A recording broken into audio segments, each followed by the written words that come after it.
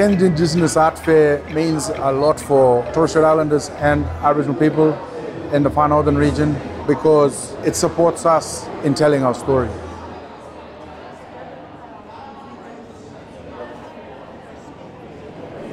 It's just wonderful to have everybody together that we work with all year.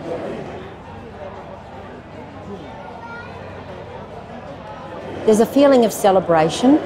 Everybody's happy.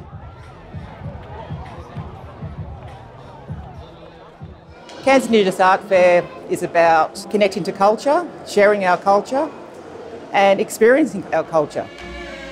It's something for all of us to be proud of. Most of our Far North Queensland communities are represented, and it makes us feel really proud.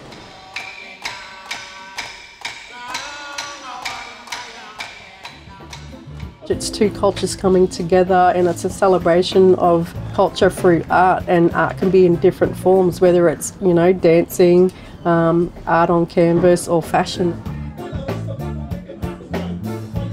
I feel blessed and honored to be here and doing this. For me, my heart is here and I'm giving back to the community